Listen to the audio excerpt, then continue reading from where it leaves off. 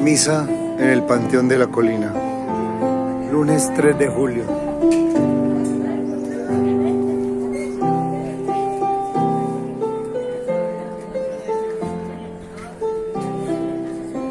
Cuatro pm. Enseguida del horno crematorio.